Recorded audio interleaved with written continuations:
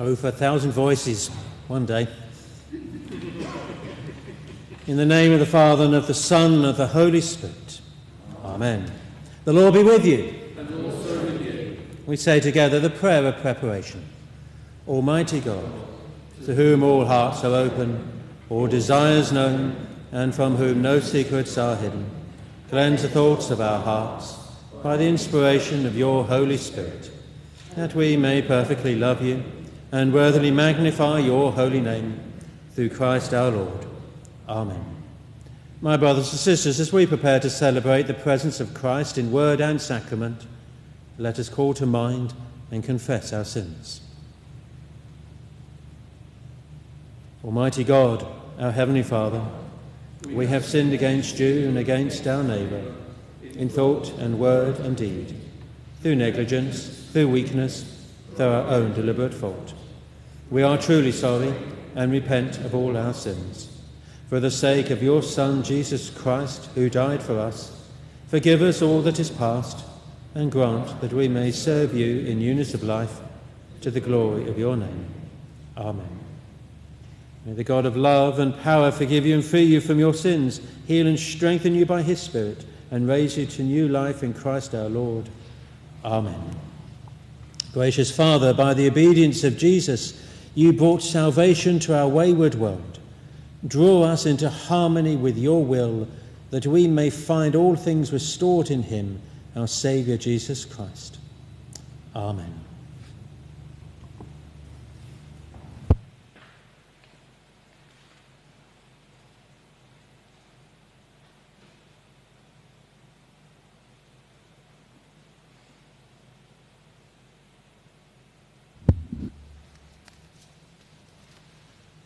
Hear the gospel of our Lord Jesus Christ according to Mark. Glory to you, O Lord. When Jesus had crossed again in the boat to the other side, a great crowd gathered around him, and he was by the lake. Then one of the leaders of the synagogue, named Jairus, came out, and when he saw him, fell at his feet and begged him repeatedly. My little daughter is at the point of death. Come and lay your hands on her so that she may be made well and live. So he went with him, and a large crowd followed him and pressed in on him. Now there was a woman who had been suffering from hemorrhages for 12 years. She had endured much under many physicians and had spent all that she had, and she was no better but rather grew worse. She had heard about Jesus and came up behind him in the crowd and touched his cloak. For she said, If I but touch his clothes, I will be made well. Immediately, her hemorrhage stopped, and she felt in her body that she was healed of her disease. Immediately aware that power had gone forth from him, Jesus turned about in the crowd and said, Who touched my clothes? And his disciples said to him, You see the crowds pressing in on you? How can you say, Who touched me? He looked all around to see who had done it. But the woman, knowing what had happened to her, came in fear and trembling, fell down before him, and told him the whole truth he said to her, Daughter, your faith has made you well. Go in peace and be healed of your disease. While he was still speaking, some people came from the leader's house to say, Your daughter is dead. Why trouble the teacher any further? But overhearing what they said, Jesus said to the leader of the synagogue, Do not fear, only believe. He allowed no one to follow him except Peter, James, and John, the brother of James. When they came to the house of the leader of the synagogue, he saw a commotion, people weeping and wailing loudly. When he had entered, he said to them, Why do you make a commotion and weep? The child is not dead, but sleeping. And they laughed at him. Then he put them all outside and took the child's father and mother and those who were with him and went in where the child was. He took her by the hand and said to her, Talitha cum, which means, little girl, get up. And immediately the girl got up and began to walk about. She was 12 years of age. At this, they were overcome with amazement. He strictly ordered them that no one should know this and told them to give her something to eat. This is the gospel of the Lord. Praise to you, O Christ.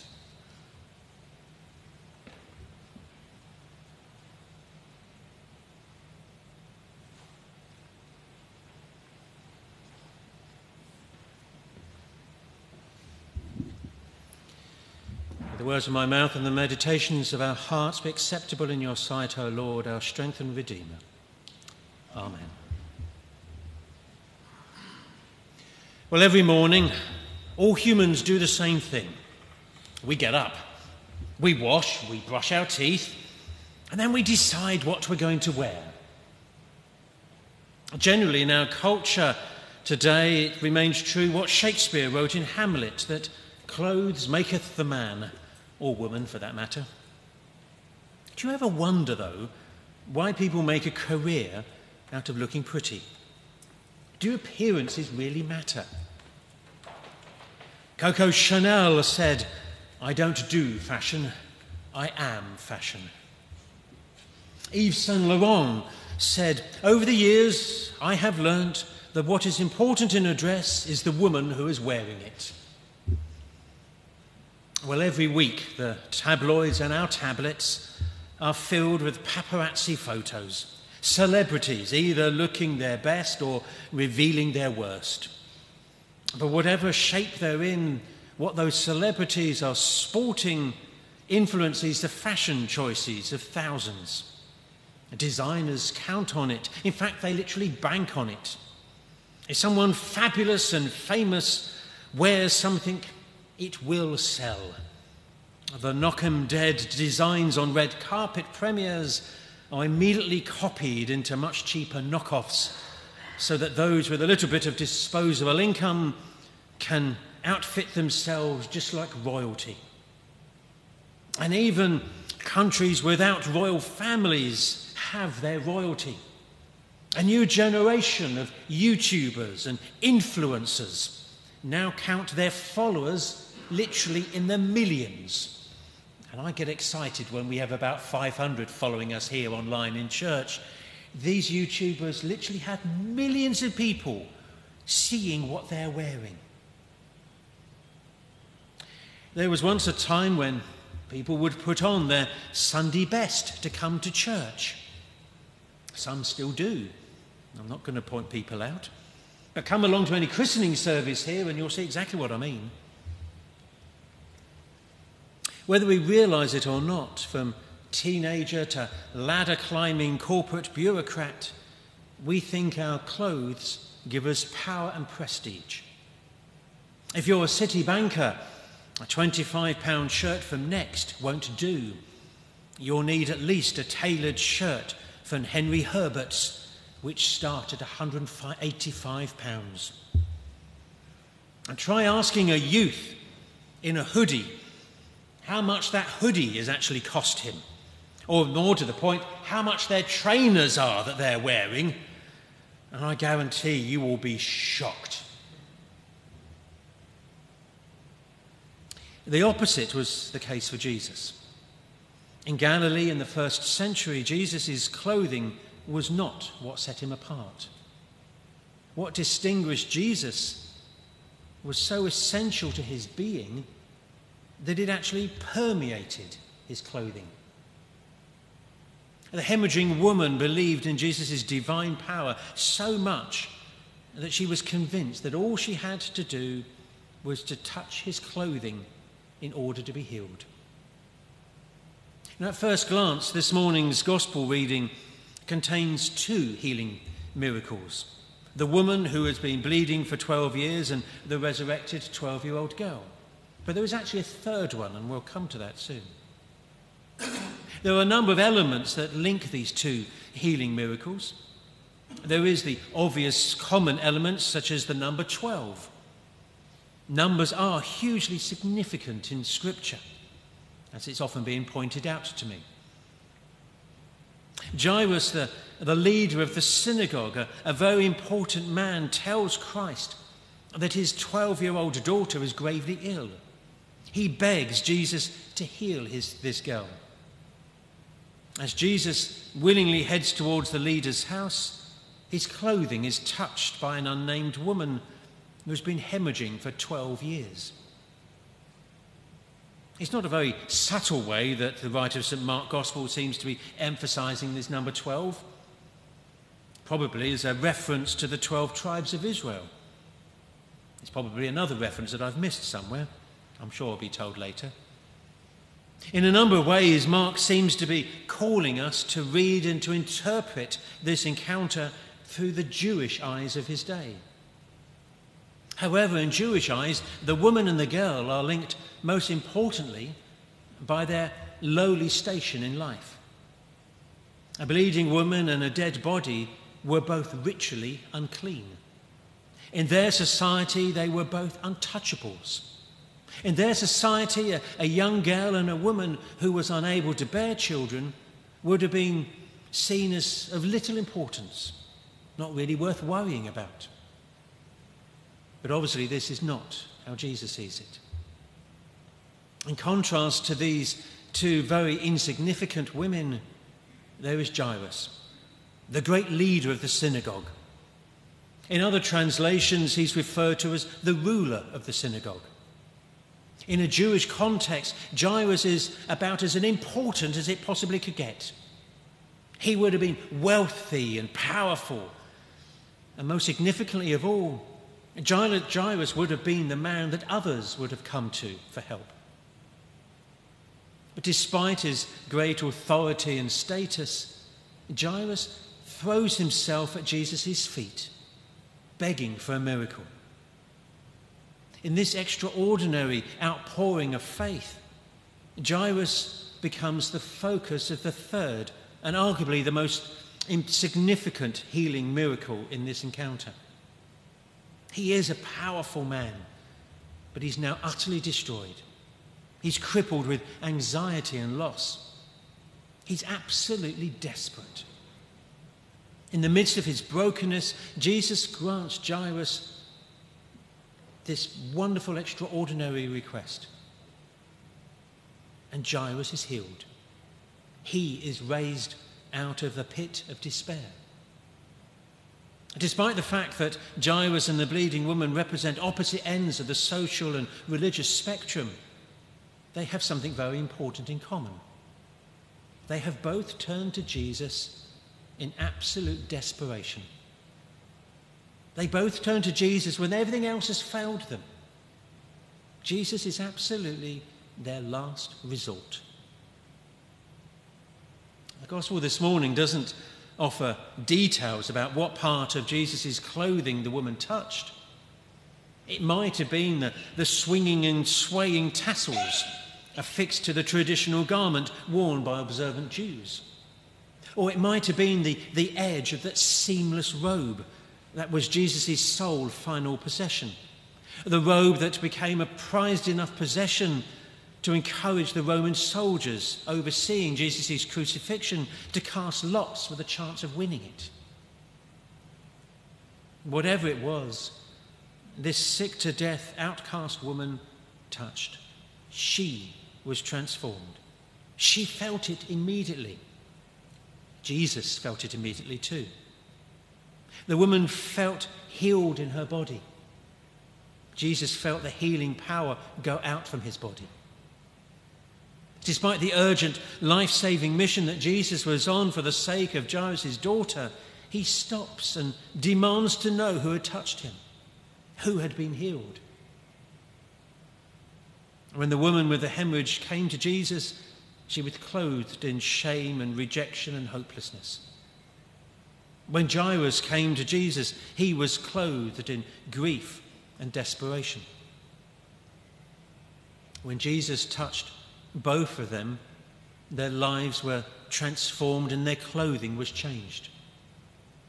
A woman's life as an outcast was restored as the life of a normal woman. Her clothing was changed. A father's life as a mourner became the restored life of a joyful parent. His clothing was changed. Are you ready for a clothes change this morning? Our society doesn't really encourage us to admit that we're desperate or needy. Most of us try to convince others that we're always in control. There are even many Christians who have a rather painful looking smile permanently plastered on their face, desperately trying to convince the world that Christianity makes them immune from all the struggles and disappointments of life. Today's gospel reading seems to encourage something quite different. Jairus and the unnamed woman are only healed when they admit their absolute dependence on Jesus Christ. The fact that they've tried everything else before they turn to Jesus only seems to make their desperate pleas all the more welcome. If you're only here today or watching online because you're absolutely desperate, if you're here today or watching online because you've known great loss and anxiety, if you're only here or watching today because this is your last resort, well, you're in the right place. In fact, it doesn't even matter what you're wearing. You could be watching online in your pajamas for that Jesus cares.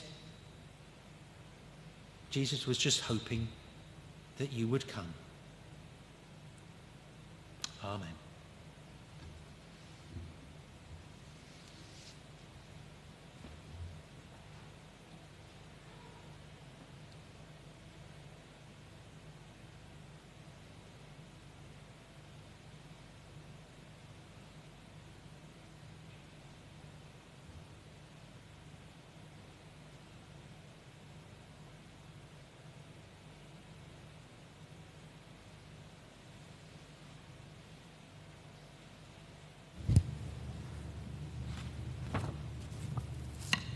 So let us now stand and affirm our faith with the words of the Nicene Creed.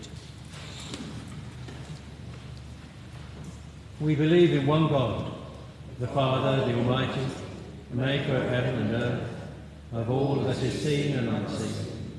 We believe in one Lord Jesus Christ, the only Son of God, eternally begotten of the Father, God from God, light from light, true God from true God, begotten not made of one being with the Father. Through him all things were made. For us and for our salvation he came down from heaven, was incarnate of the Holy Spirit and the Virgin Mary, and was made man. For our sake he was crucified under Pontius Pilate. He suffered death and was buried. On the third day he rose again in accordance with the Scriptures. He ascended into heaven and is seated at the right hand of the Father. He will come again in glory to judge the living and the dead, and his kingdom will have no end. We believe in the Holy Spirit, the Lord, the giver of life, who proceeds from the Father and the Son, who with the Father and the Son is worshipped and glorified, who has spoken through the prophets. We believe in one holy Catholic and Apostolic Church. We acknowledge one baptism for the forgiveness of sins. We look for the resurrection of the dead and the life of the world to come. Amen.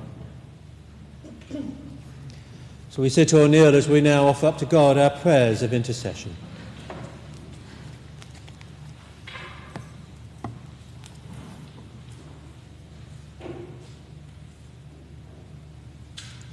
Everlasting God, as we are gathered together in love and fellowship, hear us now as we bring before you our cares and our needs.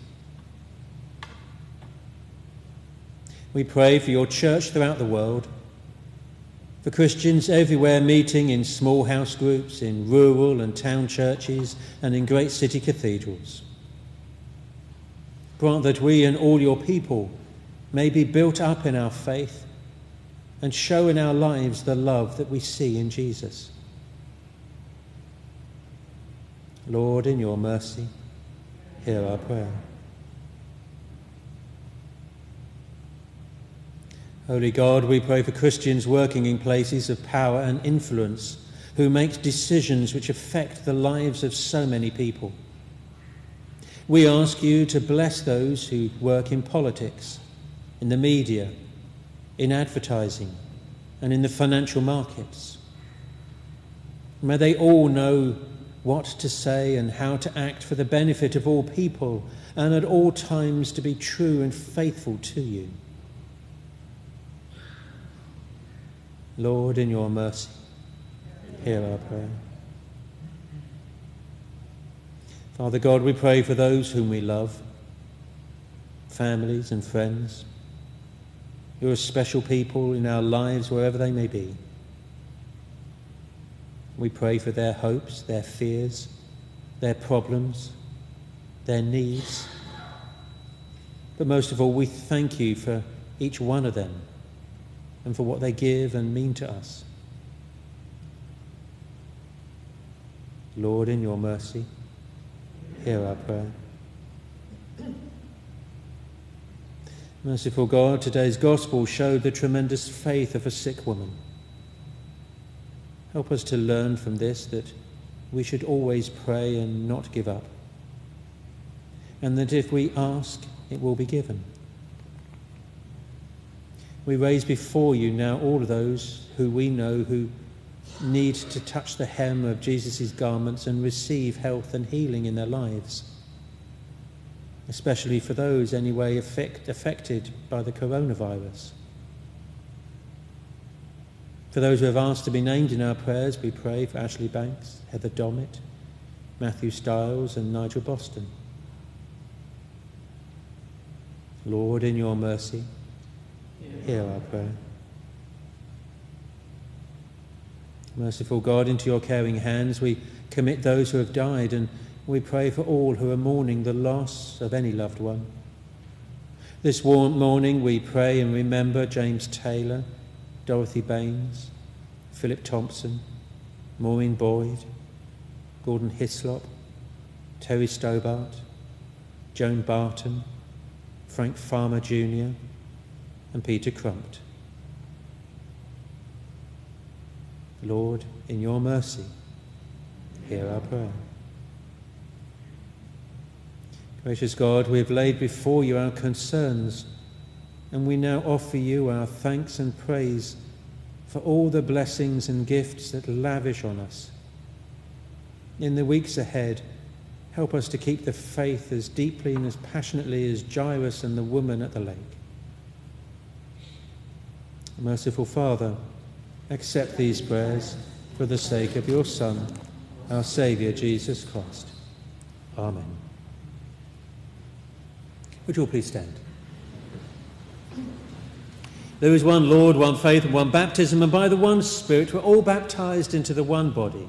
May the peace of the Lord be always with you. And also with you. Let us offer one another a sign of that peace.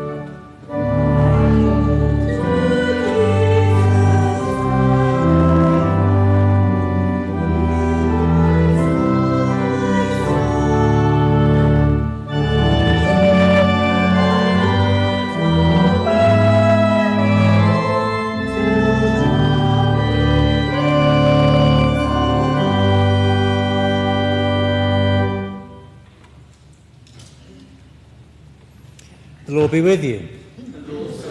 Lift up your hearts. Let us give thanks to the Lord our God. You are worthy of our thanks and praise, Lord God of truth, for by the breath of your mouth you have spoken your word, and all things have come into being. You fashioned us in your image and placed us in the garden of your delight. And though we chose the path of rebellion, you would not abandon your own. Again and again you drew us into your covenant of grace. You gave your people the law and taught us by your prophets to look for your reign of justice, mercy, and peace. As we watch for the signs of your kingdom on earth, we echo the song of the angels in heaven, evermore praising you and singing.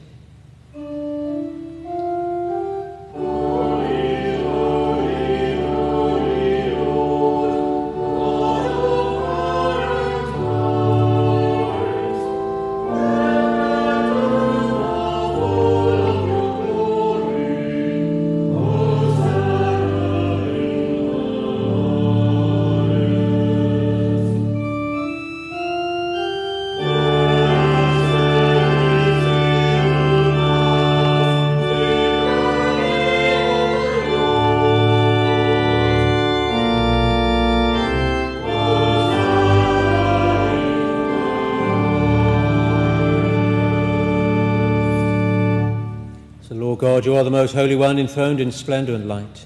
Yet in the coming of your Son, Jesus Christ, you reveal the power of your love made perfect in our human weakness. Embracing our humanity, Jesus showed us the way of salvation. Loving us to the end, he gave himself to death for us. Dying for his own, he set us free from the bonds of sin that we might rise and reign with him in glory. On the night that he gave up himself for us all, he took bread and gave you thanks. He broke it and gave it to his disciples, saying, Take Eat. This is my body which is given for you. Do this in remembrance of me.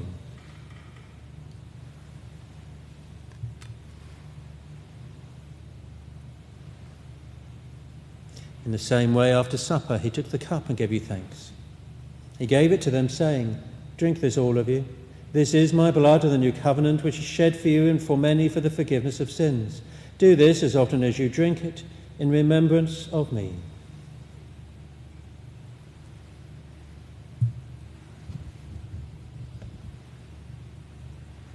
Therefore, we proclaim the death that he suffered on the cross. We celebrate his resurrection, his bursting from the tomb.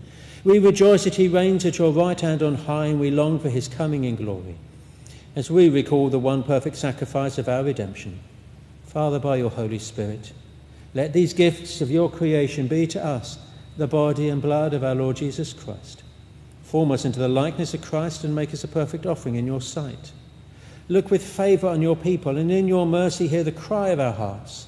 Bless the earth, heal the sick, let the oppressed go free, and fill your church with power from on high. Gather your people from the ends of the earth to feast with St. Mary and St. Helena and all your saints at the table in your kingdom, where the new creation is brought to perfection in Jesus Christ our Lord, by whom and with whom and in whom, in the unity of the Holy Spirit, all honour and glory be yours, Almighty Father, for ever and ever. Amen. Amen.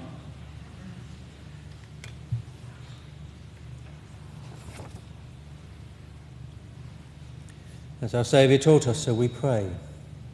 Our Father, who art in heaven, hallowed be thy name. Thy kingdom come, thy will be done on earth as it is in heaven. Give us this day our daily bread, and forgive us our trespasses as we forgive those who trespass against us. And lead us not into temptation, but deliver us from evil. And the kingdom, the power, and the glory, forever and ever. Amen. We break this bread to share in the body of Christ. Though we are many, we are one body, because we all share in the one bread.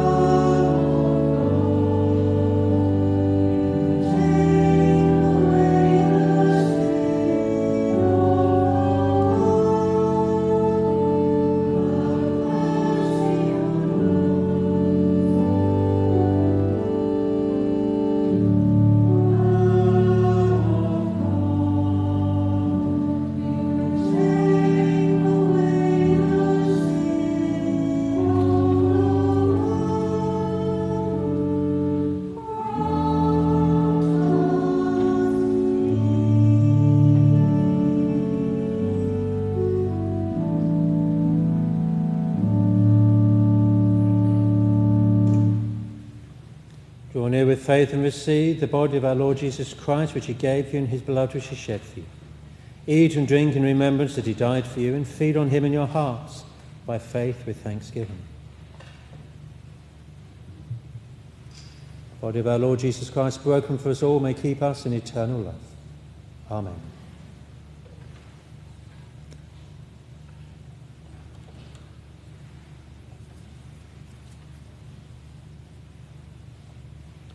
Blood of Christ shed for us all may keep us in eternal life. Amen.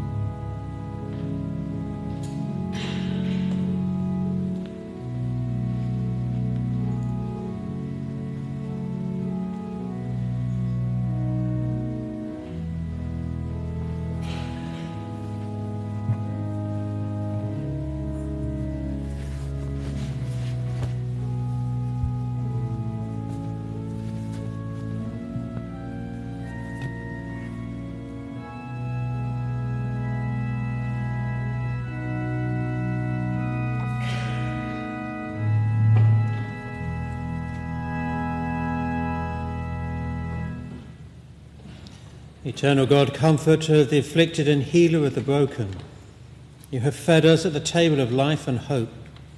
Teach us the ways of gentleness and peace, that all the world may acknowledge the kingdom of your Son, Jesus Christ our Lord. Amen.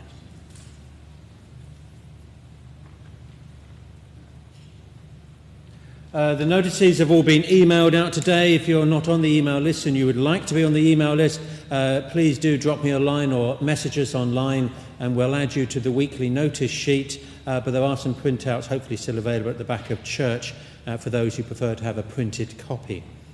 Um, I think it's on there. Uh, what we're going to do now, we have to do something which we haven't done yet, because um, I've been waiting to get two church wardens in the church at the same time. uh, we've got to swear them in. Uh, normally, um, post COVID, etc., all church wardens of the Archdeaconry would gather in a church for uh, a great service with the Archdeacon, and all the church wardens of the Archdeaconry would stand up and swear at the Archdeacon, say an oath of allegiance at the Archdeacon. The clergy just swear at the Archdeacon. Um, and they would then be duly admitted into their posts, etc. Uh, during the COVID rules, they, that's all been uh, delegated down to parish level, uh, so they get to swear at me. Sorry, they get to swear an oath of allegiance uh, in front of me, and I get to admit them into it. Um, so, with um, Leslie and Chris, like to come forward to the step, please, and you can stand two metres apart in a socially distant sort of way, because we have to do this.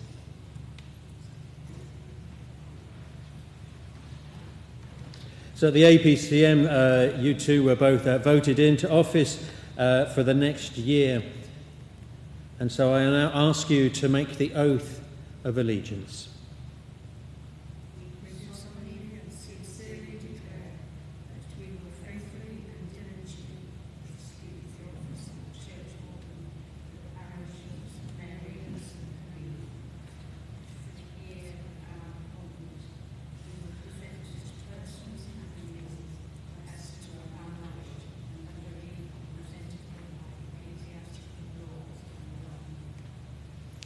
On behalf of the Bishop of St Albans, I do therefore admit you to the office of Church Warden in the parish of St Mary and St Helena, Elstow, for the current year in the name of God, the Father, the Son, and the Holy Spirit.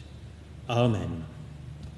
Would you two like to turn and face uh, the congregation?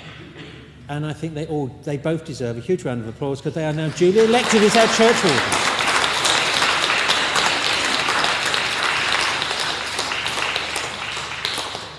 It's online as well, you know, they can freeze frame it and. oh, sure, Sunday Times, oh, that's all right.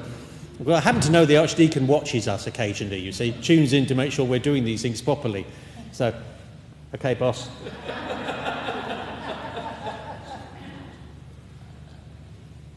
so may God keep you in all your days. May Christ shield you in all your ways. May the Spirit bring you healing and peace. May the God, the Holy Trinity, drive all darkness from you and, and pour upon you blessings and light. And the blessing of God Almighty, the Father, the Son, and the Holy Spirit be with you and those whom you love this day and always. Amen.